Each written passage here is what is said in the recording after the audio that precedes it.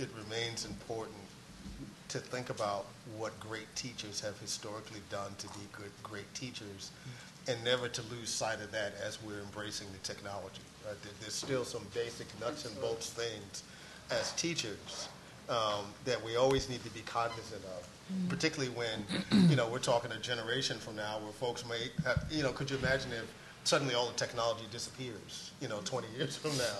And suddenly folks who have been relying on the technology all this time can't do that kind of nuts and bolts things. So I think, you know, when you talk about the mentorship piece, you know, when we think about training teachers and training our graduate students, we really do have to keep them, you know, get them to remember the kind of nuts and bolts things that we do in classrooms.